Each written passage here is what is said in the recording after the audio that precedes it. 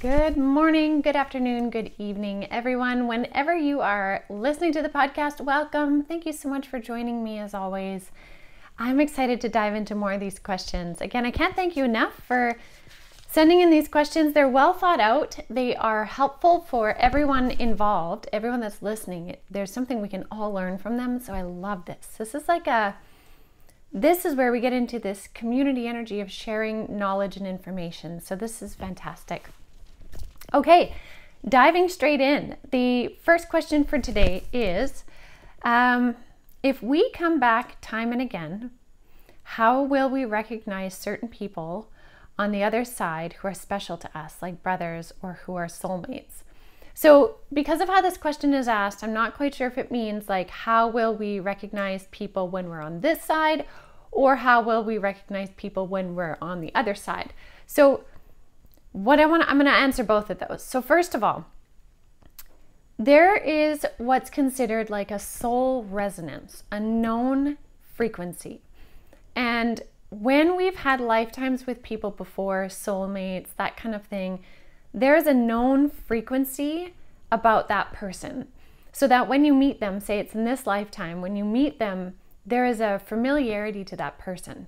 Something that sticks in your mind and you feel it in your energy that you're like, I know this person, or why do I feel so comfortable? Like, what is it? There's a something more because we can meet some, we can meet people sometimes and, you know, really get along with them and it's great, but it's still new. But then there's people that we meet them and we're like, this goes way back. And it's because it's a known frequency. Essentially, your body and your spirit is recognizing that frequency because it has been with that frequency before. It's known, right? And the same can be said for people in your life, like those longtime friends that whenever they're around, they just feel comfortable because they are a known frequency. So that same thing then also applies on the other side, but I, I want to expand on this part a little bit more.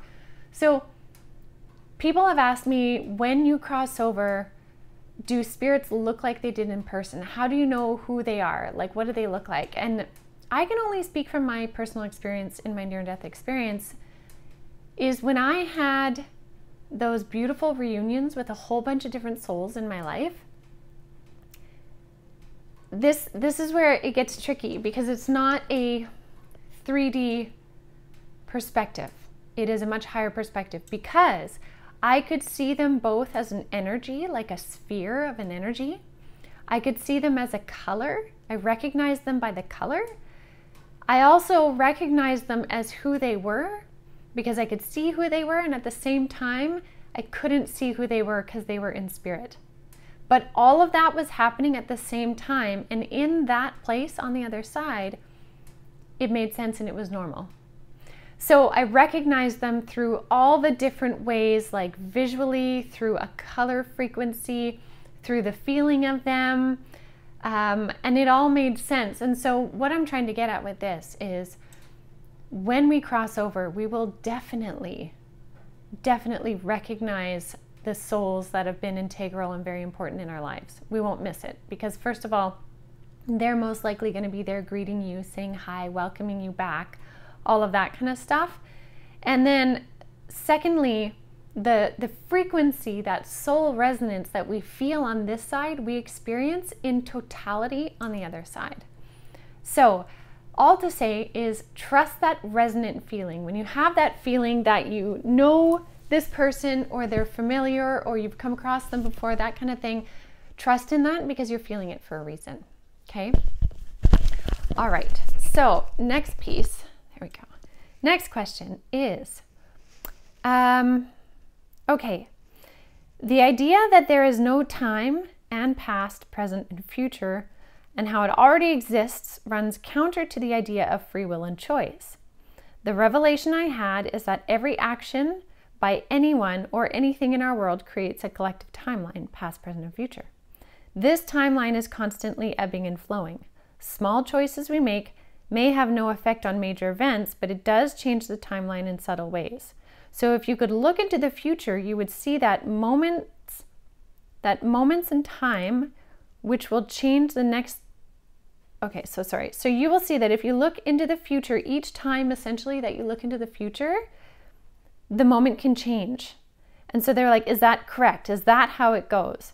And so, yes, the timeline that we like to see from our perspective in 3D is a linear one, a one that moves in a single line progression.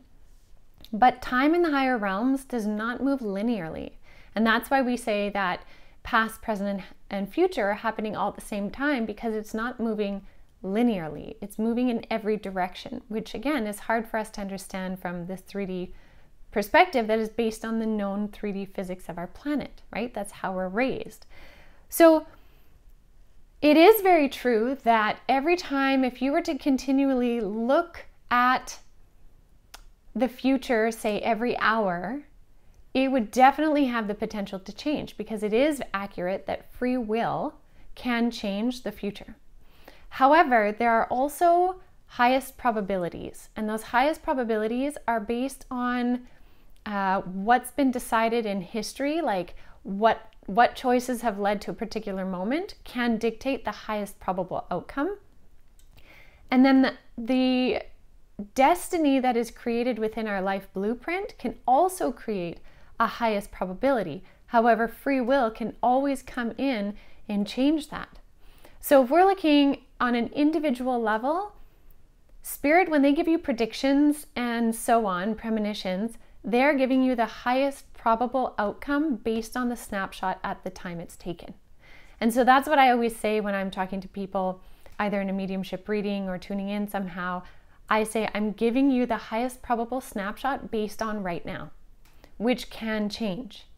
And oftentimes my guides will give me like a, per- a percentage at that time. So they might say, you know, the snapshot right now of A, B, C, and D is a 90% probability. Or sometimes they'll say it's only about a 60% probability. And so that's how we see it on a uh, personal line timeline.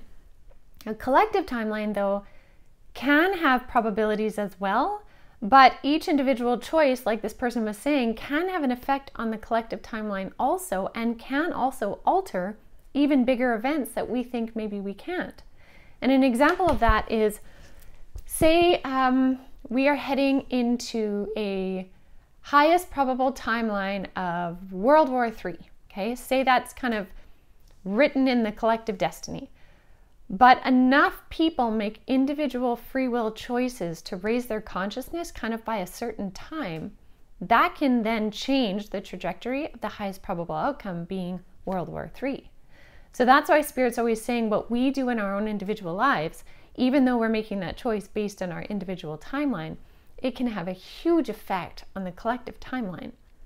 So, yes, there is free will, and any kind of future thing is based on highest probabilities. Sometimes those probabilities can be 99.9%, and sometimes they can be even down to 20%. So, it does depend on the time in which you looked into the future. So, Fantastic question. Love it. Love it. Okay. Next one is why do spirit guides use numbers? Why does spirit like to speak in numbers, number patterns, repeated numbers? First of all, because on our planet, we have given numbers meaning. Even way, way back in time, right? Like way in our history, we have decided that numbers can have a numerical value, but that numbers can also have a meaning and a representation of a communication. And because of that, that's another tool that spirit can use to bring stuff through. Now, because we have clocks and watches and phones and all kinds of ways that time can be shown to us, it's a very easy tool for spirit to use to convey a message. And because we have known general collective meanings behind the numbers, it's again very easy for them to draw our attention to our watch, to our phone at a certain time to bring through a message. So it's just, it's easy, it's available, and uh, Spirit loves being able to communicate that way because it, again, it's easy and it's available. So, beautiful question. If you're wanting to know more about the number patterns, what they mean, uh, I did do a podcast on spirit numbers, so you can look that one up as well. There's a lot of information online, and what I want to say is when you read the meanings of certain numbers, take what resonates for you. Like somebody might say a one means this or one means that. It's for you to take the one that means something to you. And when you do, Spirit will then bring through the numbers based on the meanings that you have. So, what I mean by that is someone could look at um, a number three, two people could be driving and they say 333 on a sign, say. And one person could see that number three and be like, oh my gosh, that means my spirit guides and ascended masters are near me, supporting me. I'm so grateful. Somebody else could look at that and be like, uh, this means I need to deepen my practice and, and connect more into the ascended masters. And somebody else could look at it and be like, this means I'm on my spiritual path. Right? It's about what it means for you, and your guides will figure that out and then give you the appropriate messages. So, great question. Okay, next question. I love this. It says, I'd like you to ask why. Just the word why and see what they give you. So I'm going to just do that right now. I'm just going to tune in quick. This made me laugh. I love it. So I'm just going to ask Spirit why and see what they say. So just hold on one moment.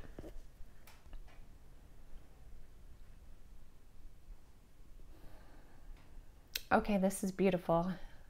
First thing they said right off the bat when I said, All right, Spirit, why? And they said, Because you matter.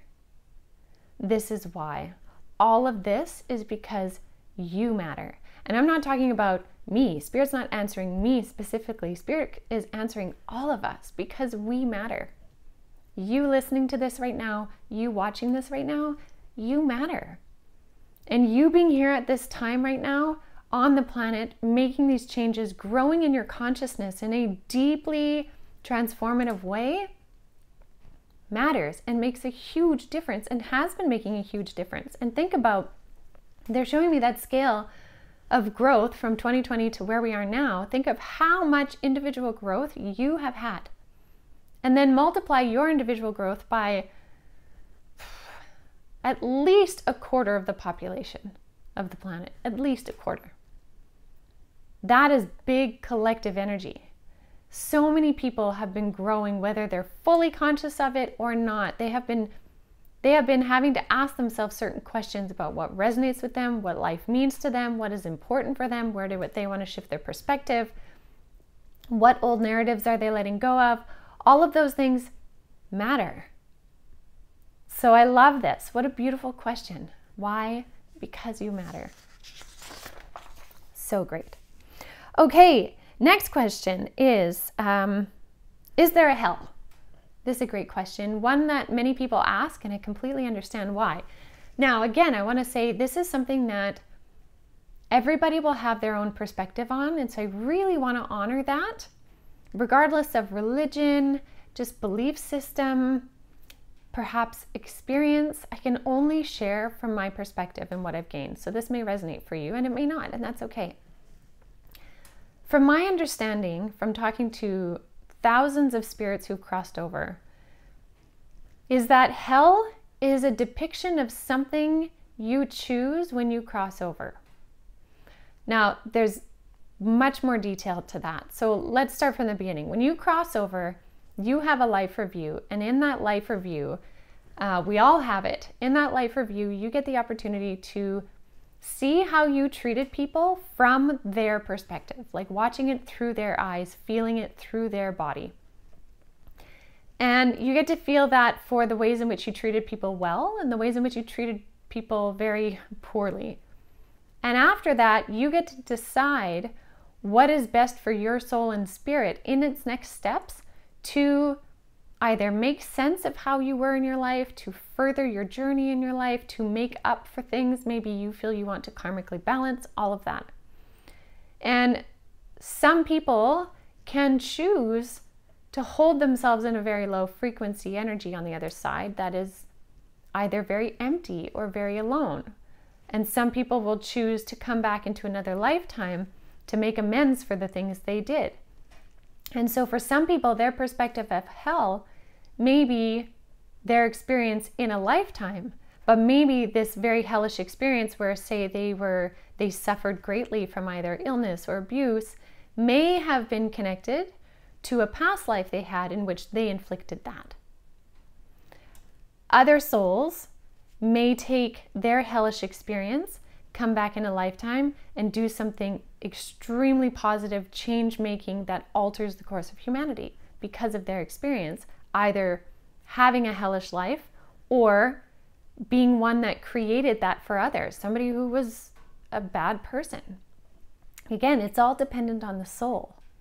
Now, sometimes some souls cross over and they say, and, and I've heard this in near death experience stories too, where some people say they crossed over and all they saw was darkness, there was nothing there, or all they heard was like scary, maybe not scary noises, but like it was dark and it was cold and all of this. I want to say that some people may perceive that as hell, and perhaps their soul either desired that experience, or what I've seen many times is when people cross over and they feel they're in that area. There, I've seen lots of souls in that area, so to speak. Some may call it purgatory. I call it simply them having their eyes down. And what happens is sometimes when people pass, sorry, so fast or very traumatically, they pop onto the other side and they're in such a panic about what happened that they're looking down. And they're not seeing that around them is spirit, is their guides, their angels, is the light helping them to cross over. They're just kind of like in a narrow vision field of panic and fear. And that fear elicits a feeling of um, darkness, of hellish energy. So, my opinion is there a hell? I don't think so in the, in the way that it's traditionally depicted. I think we choose where we go on the other side. That being said, though, do I think there are low frequency beings and some pretty bad ones that would typically live in what we consider hell as a general storyline? Yes, I do. There are low frequency energies, there are darker entities. And so, where do they reside? They reside in a lower frequency. So, it's a, it's a, it's a it's a question that I could give a simple answer, which I did, of I don't believe there's a traditional hell. However, there are a lot of kind of tangents we can take within that exploration based on frequency. So I hope that helps explain it. What I do want to leave you with with that question specifically is for those of you that are growing in your consciousness, that are kind people, even if you've had a rough life leading up to who you are today, or even if today is the day that you're deciding, I want to be different, I want to be better, I want to be kind, I want to be whatever it is, no matter what you've done, the moment that you decide you want different and you want better, your frequency is rising. We do not have to be perfect, and the spirit world does not expect us to be perfect at all. We have all done things in our lives where we have screwed up. Some of us have screwed up royally. But Spirit loves when we're willing to look at what we've done and change our behavior and learn from it and grow from it and help others from it. And so, again, if someone's had a really, really hellish life and they cross over, but they realize the magnitude of it and they decide they want to do something about it, either in another life, maybe in another planet, however it might be, there is so much support for it. So, this is not to make anybody feel anything of fear, worry, shame, or anything. The fact that you are open minded and growing is all that matters, and you will not go to hell. You will be received and loved by Spirit for who you are and the growth you're willing to make. So, I really want to just emphasize that. Okay. Next question. Um, this person said that they had been told many times that an ex partner had been with them in many past lives. And they wanted to know how can I get rid of this ex partner from ever coming back in my life? And that's a great question. This, what's really neat about this is we are in a really neat phase in our collective consciousness as humanity where we have greater embodied consciousness to change soul contracts. So, what I mean by that is many people have been kind of running this karmic loop through many lifetimes with different people. And yes, we often have soul families that we connect with and we come back in with, but sometimes we also get into these karmic loops where there needs to be something that changes or finishes that cycle of karma. And because on earth now we are becoming so much more awakened and conscious and we're healing, we're going into transformation, but like with awareness, we're coming into these layers of understanding we've had past lives with people. And we're understanding that we don't want that anymore. We're not feeling helpless to it, but we're saying, hey, I actually don't want that anymore. And I know that I'm going to have future lives, and I do not want this person in that life anymore. And so, this is a beautiful thing. And I love that this question came up because, yes, you do have the power to do that. A couple things to consider is first of all, are there any um, aspects of healing for you to do in relation to this person? Either it's with your bond specifically, it's either with, say, any traumas, hurts, emotional aspects brought on by the partnership. For you to go in and heal everything that you feel you can within that helps you remove the cords that bind the two of your uh, incarnations or your souls together. So, the more healing you do, the more you remove the cords. That's the first part. Once you've done a lot of your healing, you then can basically, and it depends on how it feels right for you, but a simple example is when you feel you are done with a relationship. And you can do this at any point in the relationship. Usually there's a little bit of healing that has to happen. But when you're done with it, you can state your desire to cut the bond. And the more that you put your energy into it, the greater impact it has. So, what I mean by that is you could simply say, uh, say this person's name is Joe, and this is no offense to anyone named Joe, okay? It's just the first name that popped out. Say you're like, my relationship with Joe is over. I am done with this relationship. I do not wish to have it repeated in this lifetime or any lifetimes beyond. I cut this bond and this tie that from this moment forward, there's nothing connecting the two of us, and I relinquish any link between us both. So you can see how my voice changed a little bit into very like strict, specific, stern, stating my energy in and stating my thoughts in that energy. So that's a really important part, stating that. You could yell it, you could scream it, you could set up a very um, elaborate ritual, and maybe you're standing in a circle and you've got stones and crystals and candles, you could do that too. You could also light two candles with strings that are kind of bound in between them, and then light a third candle that then burns the string bonds between the two, allowing each of those candles to now burn individually without being connected. Right? There's different ways you can do that, and it's about looking up and aligning with what sort of ceremony, ritual, uh, energetic expression makes you feel it the most. You can also have a conversation with this person's higher self. And I've talked about this before, but you could set up two chairs. You sit in one, you put another one facing you. You invite that person, let's say it's Joe, invite Joe's higher self to sit with you.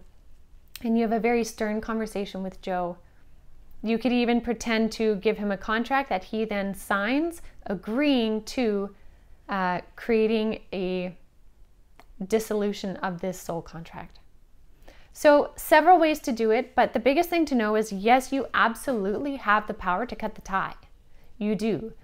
Sometimes there are deeper karmic links that may show up for you as you move along, but you definitely can. Um, a, couple, a couple other things you could do is connect with um, an Akashic record reader to go back into the Akashic records and see where was this bond created in the first place. Uh, you may be able to find that in a mediumship reading, but Akashic records would definitely have it. And you can find where that bond was, and you can go back because, again, time, um, future, past, or present is all one and the same, and you can you can um, disconnect that bond there.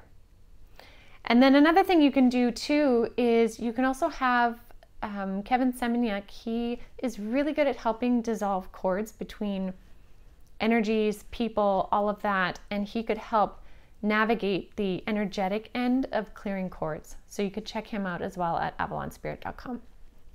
Fabulous question. Okay, two more questions. Two more questions. Okay, first one is um, Are there more ways to access the blueprint in one's life and really change it? So, I talked a lot about seeing my blueprint when I had my near death experience, and it was through my blueprint that I got to do my life review. So, one thing that I'd asked my guides upon coming back to Earth was Do we all have to have an NDE to change our blueprint?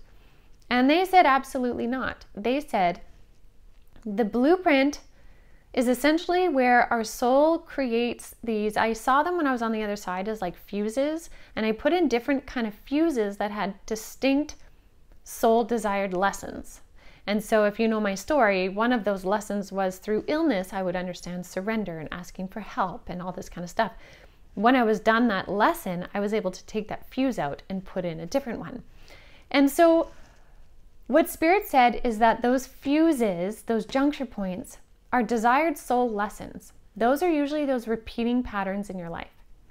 Not always, but often can be. Once that lesson is learned, it no longer has a purpose in your blueprint. So, what you can do from this angle without having to have an NDE is look at are there any repeated soul lessons happening in your life? Things that keep coming around again and again and again and again. If so, that means there's something that's still left to be learned in that experience. So you can dive into exploring what that is. Other things you can do is look at your life and see where things desire an adjustment, or is there somewhere where you're not following your heart's passion or calling from your soul in your heart space to do or experience a thing? Because the more you follow your heart's passion, the more you get to align with your blueprint. The more you align with your blueprint, the more you get to kind of move move with more grace through your lessons. So it's all connected in. So you could also connect in with your spirit guides through meditation, uh, even maybe through automatic writing or inspired writing, and ask your guides to share some insights about your life path and about your blueprint. And bring up questions you have. Like, I noticed this, um, say somebody has a pattern with their weight. I notice that my body tends to carry extra fuel energy on it when I'm stressed. What am I missing here? right? And maybe your guides can come in and give some some example or information or answers on that. So meditation is a great way to access it. Looking at what you notice in your 3D life of repeated patterns, soul desires, are you in alignment? Do you feel in flow? And that feeling of alignment will always bring you back to your blueprint. So if you feel way out, way, way out of alignment, you're probably slightly off your blueprint.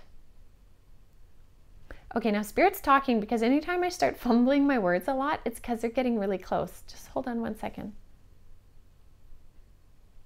Okay, so they're saying in relation to this question, many of you are really being pulled into aligning with your blueprint, and they're showing it to me like when you put a transparency down on top of another image and it adds another layer. Many of us are kind of being pulled to the original image by the transparency right now. And so it's highlighting for many people the things that are out of alignment. So if you really pay attention, they're like, really pay attention to what doesn't feel in alignment because it's showing you pieces of your blueprint. Beautiful. I love that. Okay. Now, last question for today. And again, there's going to be another podcast with these answers.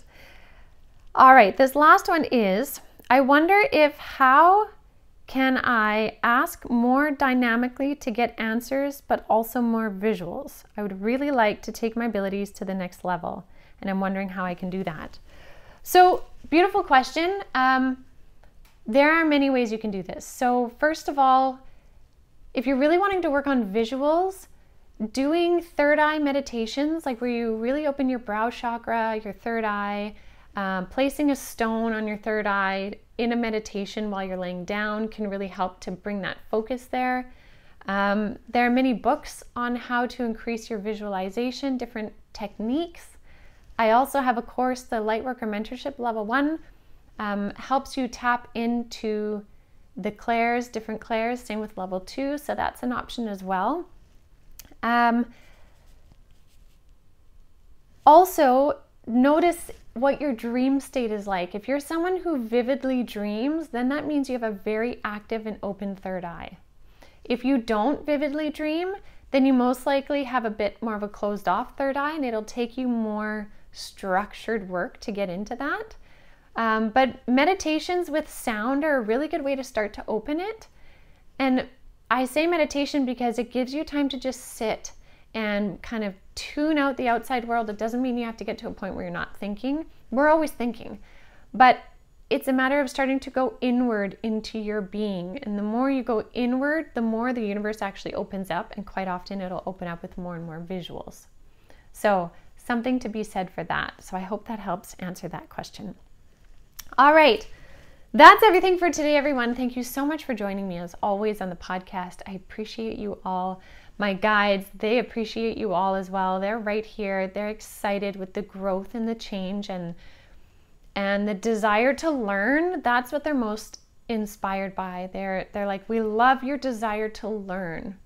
So, to each and every one of you listening, my guides say thank you. Thank you for showing up. Thank you for your desire to learn. So I'll leave that with all of you. Have a beautiful rest of your day, and I will see you all next week.